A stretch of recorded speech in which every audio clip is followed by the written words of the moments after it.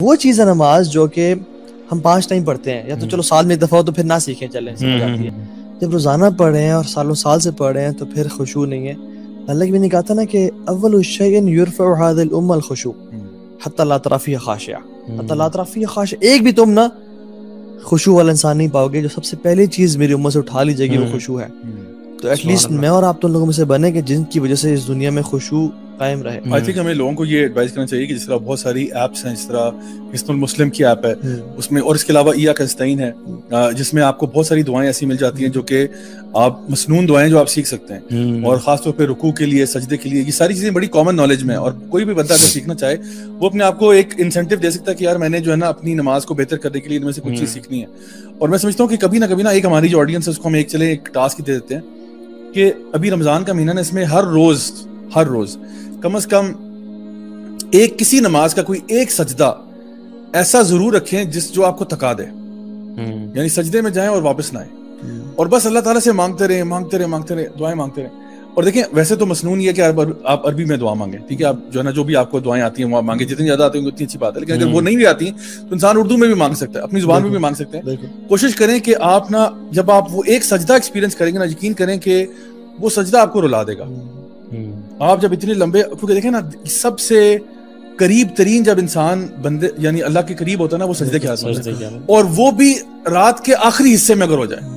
यानी आप सोचें कि शहरी का टाइम है ना शहरी से कुछ तकरीबन मतलब जिस टाइम पे आप शहरी करते हैं फॉर एग्जांपल अगर फॉर एग्जांपल अगर आप साढ़े तीन बजे लेट सपोज़ शहरी का इंतज़ाम शुरू करते हैं तीन बजे आप शुरू करते हैं। और आप दो रकत ही पढ़ने चले। हम्म। और आप उसमें ऐसा लंबा सजदा करें कि वो आपको रुला दे। हम्म। फिर आप देखें कि वो आप ईमान के अलावा क्योंकि इससे ज़्यादा करीब कोई वक्त नहीं हो सकता कोई पोजीशन नहीं हो सकती जहाँ पे आप अल्लाह से करीब हैं। और इतने जब अल्लाह के आप करीब आ चुके हैं फिर मांगो जो मांगना चाहते हो। इसलिए हमारे उलमा कहते हैं ना कि तहजद की नमाज़ जो है वो ऐसा तीर है जो अपना निशाना मिस नहीं करता कभी। तो आप अपना यानी जो भी आपने चीज़ अल्लाह ताला से मांगनी तो मैंने कहा था ना कि वो पहले से आपको पता हो कि मैंने अल्लाह से ये चीज़ मांगनी है आज। हम्म। और देखिए जब मांगने अल्लाह से मांगा जाता है ना तो फिर आप डंके की चोट पे मांग करें। यानी ज़्यादा मिस्कीन बनने की ज़रूरत नहीं इंसान को कि अल्लाह पता नहीं तुमने देना तो दे दे वरना कोई बात नहीं मैं गुजारा कर ही लूँगा। हम्म। इस तरह दुआ नहीं मांगी जाती। आप कहते हो अल्लाह तू कायनात का मालिक को खाले के अल्लाह मुझे अता फरमा वैसे भी जैसे आप अल्लाह के गुमान रखते हैं अल्लाह के बारे में अल्लाह ताला वैसे ही मामला करते लोग जो है ना वो ज़्यादा ही कभी कभार ना दुआओं में भी बहुत मिस्किन मान जाते हैं। यानी दुआ मांगते हुए भी ना अल्लाह चले तूने देना तो दे दे वरना कोई नहीं खैर है देख लेंगे अब गुजारा तो कर ही लेंगे हम फजाइल इकट्ठे हो रहे हैं अभी अगर रात को इंसान मतलब एक तो रमज़ान दूसरा तहजद का टाइम अल्लाह सुबह ताला पहले आसमान पे तशरीफ़ लाए और मुनादी करें कोई है दुआ करने वाला मैं दुआ कबूल करूँ तीसरी चीज़ के वो नमाज़ में है नमाज़ एक इटसेल्फ इबादत है हम्म। चौथी चीज़ के वो सजदे की हालत में है हम्म। क्योंकि हदीस में आता है अक्रबुमा यकून रब्बी व साजिद फाखिर दुआ हम्म। और देखिए अल्लाह के क्या फरमाया कि इंसान सबसे करीब रब के होता है जब वो सजदे में होता है तो क्या करे मतलब? क्या करे उसे बता अक्सर दुआ दुआ कसरत से करो क्योंकि ये वो टाइम अल्लाह ताला के कुर्ब के लिए सजदों में इजाफा करना चाहिए करना चाहिए। तो अल्लाह ताला से करीब होने का इससे और बेहतर क्या ज़रिया होगा कि आप सजदे के हाल में अल्लाह के नबी से भी करीब होने का जो सहाबी ने कहा था हाँ, कि मुझे आपसे करीब होना है। तो उन्होंने कहा था फायनी अल्लाह ज़ालिका बिकसरत सुजूद। हम्म। तो मेरी मदद करो अपनी दुआ कबूल होने में बिकसरत सुजूद यार if we go back to those people जिनकी नमाजें सबसे परफेक्ट थी तो वो तो लगता है कि रियलिस्टिक नमाजें नहीं थी वैसे। Honestly hmm. मुझे वो सहाबी का नाम याद नहीं है कि जिनको पहरे पे खड़ा किया हुआ था। हम्म। हाँ। और वो तिलावत कर रहे हैं रात को और तीर आके लगा उनको। उनको पता ही नहीं चला। कैन वी इमेजिन दिस वो तो सहाबी थे ना। हाँ। इमाम बुखारी रहमहुल्लाह नमाज़ पढ़े थे। और उनको ना कुछ तकलीफ़ हुई और होती रही कुछ अरसे में बाद और उन्होंने नमाज़ नहीं छोड़ी। नमाज़ आराम से पढ़ी और कहा मेरे पीछे अपना कपड़ा उठाया देखो कौन है क्या है? तो इट वाज स्कॉर्पियन आपने छोड़ा क्यों नहीं? हम्म। कहते मैं सूरत के बीच में था और मुझे इतनी लज्जत आ रही थी कि मेरा दिल नहीं चाह के मैं छोड़ू. और हमें मुसल्ले पे चूंटी अगर नज़र आ रही हो तो वो हम उसको देखते हैं नज़र आ रही है जो राइट जा रहे हैं अच्छा वहाँ से लेफ़्ट हो गई देखो। हाँ, कोई कॉकरोच कभी आ जाए तो सारा खुशबू हमारा निकल जाए। अल्लाह ताला कबूल फरमाए एक दफ़ा यहाँ पे हमारे पास ही एक मस्जिद थी जो भी बनी नहीं थी कंप्लीट नहीं थी। तो हम लोगों ने कुछ भाई थे चार पाँच हम लोगों ने फैसला किया कि इस मस्जिद को आबाद करना है। क्योंकि वो मस्जिद बिल्कुल वीरान हम्म। सन्नाटा डॉट कॉम था मस्जिद। मतलब उसमें छत भी नहीं था मतलब प्रॉपर छत भी नहीं था। खुली आसमान तले मस्जिद है और बिल्कुल मतलब हालात बड़े खराब थे उसके। तो भी कोशिश रही थी कि उसको बना दे। आप यकीन करें उस मस्जिद में हमारे सामने क्या कुछ नहीं आया। वल्लाह लदीम एक दिन हम सुबह फजर की नमाज़ पढ़े इतना मोटा चूहा जो है ना वो आगे से कभी इधर जा रहा है कभी उधर जा रहा है कभी उधर जा रहा है कभी उधर जा रहा है। और आप यकीन करें मुझे उस दिन अपने पे रोना है। पता की बात है? इसलिए रोना है कि यार ये चूहा जो है ना ये मुझे नमाज़ में डिस्ट्रैक्ट कर रहा है। हालाँकि चूहा काफ़ी बड़ा रैट था जो पता नहीं कहाँ से निकल के आ गया। फिर एक दफ़ा एक छिपकली गिर के वहाँ पे आगे पीछे घूमना शुरू गई तो वहाँ पे अक्सर इस किस्म की मखलूक जो है ना वो आ जाती थी। लेकिन फिर मैंने उस एरिया ने ना मुझे अल्हम्दुलिल्लाह बड़ा स्ट्रेंथन किया इस चीज़ में कि no matter what happens don't be distracted but इसके साथ एक छोटा सा वो है कैच भी है। डिस्क्लेमर ये है कि बंदे को इतना भी बेपरवाह नहीं होना चाहिए कि खानदान वाले बेचारे तबाह हो रहे हैं और आप कह रहे हैं कोई बात नहीं मैं इस वक्त खुशू की हालत में हो। रही है क्योंकि नबी करीम वसल्लम हम्म। जो है ना वो अपनी नमाज़ को छोटा कर देते थे जब आपको किसी बच्चे के रोने की आवाज़ आती सही बात तो ये नहीं कि बच्चा जिए मरे जो मर्ज़ी हो मैं तो तिलावत कर रहा हूँ भाई सूरत हाँ, बकरा की तिलावत हो रही है सारे आप बर्दाश्त करो। हम्म। ऐसा नहीं और उन सहाबी को डांटा जिन्होंने नमाज़ जो है ना नॉर्मल ईशा की नमाज़ पढ़ा रहे हैं और उसमें सूरत बकरा की तिलावत शुरू कर दी किसी और की तो एक सहाबी छोड़ के निकला है वहाँ से। उन्होंने कहा बस यार बहुत हो गया। तो वो जब जाके मामला नबी करीम वसल्लम के सामने आया तो उन्होंने उन सहाबी को डांटा कि भी तुम्हारे पीछे जो लोग नमाज़ पढ़ रहे हैं उसमें बुज़ुर्ग भी हो सकते हैं बच्चे भी हो सकते हैं।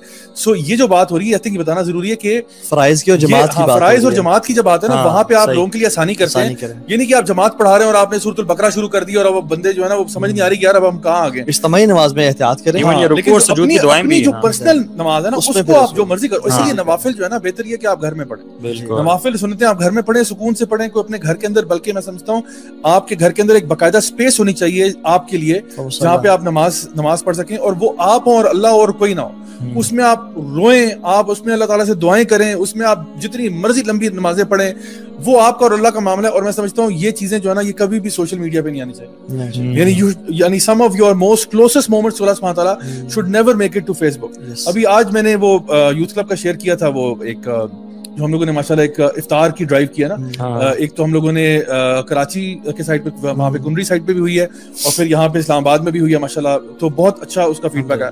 तो मैंने उसकी कुछ पिक्चर्स यूथ क्लब के पेज से लेके शेयर की। उसके नीचे कुछ लोगों ने कमेंट किया था कि आप अपनी डीड्स क्यों शो ऑफ़ कर रहे हैं? हम्म। ठीक है तो बात यह कि हमें कोई शौक नहीं है अपनी डीड्स को शो ऑफ़ करने का। हम इसलिए करते हैं ताकि एक तो लोगों को पता चले कि जो लोग हमें डोनेट करते हैं वो पैसा अव्वल तो ये इंडिविजुअल की डीड्स हैं इंडिविजुअल नहीं। ये तो कलेक्टिव हाँ। डीड्स हैं। क्योंकि मैंने खुद उसमें मैं, मैं इसमें शामिल हाँ, नहीं था। तो ये तो मेरी टीम मेरे साथ काम करी तो हम्म। अलहमदुल्ला मुझे खुशी होती है कि माशाल्लाह टीम के लोग इतने डिफरेंट जगहों पे काम कर रहे हैं। तो पहली बात ये कि उसमें हम लोग जो है ना ये एक तो ये चाहते हैं कि जो लोग हमें डोनेट करते हैं जो लोग हमें कंट्रीब्यूट करते हैं उनको पता चले कि वाईसी के जो पैसा है वो कहाँ कहाँ लग रहा है। पहली बात ये उनकी क्लैरिटी के लिए। दूसरा बाकी लोगों को तरगीब देने के लिए कि भाई देखो अगर हम ये काम कर सकते हैं इतने लिमिटेड रिसोर्सेज के साथ तो आप लोग भी कर सकते हो। ज़रूरी नहीं है कि आप हम हमारी बैंड वैगन को ज्वाइन करो आप अपने मोहल्ले में अपनी गली में जो कुछ कर सकते हो आप ये काम करो। लेकिन जो आपकी पर्सनल इबादत है अब आप क्या चाहते हो कि मैं मतलब दुआ मांगते हुए तस्वीर खींच के डाल दूँ नेट पे? कि जी ये राजा जयालक साहब दुआ मांगते हुए। या मैं कोई मतलब नमाज़ पढ़ते हुए तस्वीर खींच के डालूं? सो ऑब्वियसली वो चीज़ें हम हमारे और अल्लाह के बीच में होनी चाहिए। हम्म। और उसमें आप जितना अल्लाह के सामने गिड़गिड़ा करो बल्कि अल्लाह ताला को वो आँसू सबसे ज़्यादा महबूब है जो तन्हाई में निकलते हैं। बिल्कुल। कई ऐसे स्पीकर्स भी होते हैं कई ऐसे लोग होते हैं कारी होते हैं जो कुछ तो अल्लाह अल्लाह बेहतर जानता है मैं किसी को जज नहीं कर सकता। आ, कुछ होते हैं वो जानबूझ के रो पड़ते हैं कुछ होते हैं वो मे बी उनको एक बेसाख्ता तौर पे उनको आँसू आ जाते हैं। लेकिन इन आंसुओं से ज़्यादा कीमती वो आँसू हैं जो तन्हाई में निकलते हैं। हम्म। जब आपको कोई नहीं देख रहा जब आप हैं आपका रब है और आप कहते हो आप अल्लाह ताला से दुआ करते हो अल्लाह ताला को पुकारते हो और अल्लाह ताला की खशियत आप पे तारी होती है और आपकी आँखों से आँसू निकल जाते हैं। हम्म। आप कुरान मजीद की तिलावत कर रहे हो आप कुरान सुन रहे हो किसी किसी जो ना कारी का हम्म। आप रो पड़ते हो ये अल्हम्दुलिल्लाह अल्लाह ताला को ये आँसू बहुत पसंद है। हम्म। और ये वो आँसू हैं कि ये आँख जहन्नम में नहीं जा सकती। निजारी बात अगर आँख जहन्नम में नहीं जाएगी तो पूरा जिसम भी नहीं जाएगा ना। तो ये बता कहने का सिर्फ़ बात है कि जो आँख अल्लाह ताला की खशियत से रोती है ना वो फिर जहन्नम में नहीं जा सकती। तो इसलिए ये सारी कैफियत कब आएँगी? जब हम लोग अपने आप को इस तरीके से कंडीशन करेंगे कि मैंने अल्लाह के साथ अकेले में टाइम स्पेंड करना हम्म। जिस तरह हर महबूब चाहते ना कि अपनी महबूबा के साथ टाइम अकेले में गुजारे। हम्म। यानी ये एक प्यार का फलसफा है। Everybody wants to spend time with the person they love alone not in front of everybody else तो अगर आप यानी ये इससे मिसाल देते हैं सारे हम कहते हैं कि अल्लाह ताला से मोहब्बत हमें हर चीज़ से ज़्यादा है। अल्लाह के नबी वसल्लम से मोहब्बत हर चीज़ से ज़्यादा है। तो फिर हमें अल्लाह ताला के साथ तन्हाई में टाइम स्पेंड करना भी पसंद होना चाहिए। हम्म। और अगर हम लोग इस क्लेम में पूरे नहीं उतर रहे तो उसका पहला जो क्राइटेरिया ना वो आपकी नमाज़ है। हम्म। कि वैसे तो जो जिससे इंसान मोहब्बत करता है उसके साथ तो टाइम स्पेंड करना चाहता है। हम्म। और ये जो मैंने शुरू में बात की थी मूसा सलाम वाली उसमें मूसा सलाम अल्लाह ताला के साथ बहुत टाइम स्पेंड करना चाह रहे थे। अल्लाह ताला ने सवाल पूछा कि मूसा तेरे हाथ में क्या है? मूसा सलाम ना स्टिक के फजाइल बताना शुरू कर दिए कि छड़ी है मैं से हालाँकि जवाब सिर्फ़ था कि ये ऐसा है बस हाँ, बल्कि ये भी कहने की ज़रूरत नहीं थी। वल्लाह ताला आलम। हाँ। खत्म। आप बेहतर जानते हैं कि वल्लाह वल्लाह तू बेहतर जानता है मैं तुझे क्या बताऊँगा छड़ी?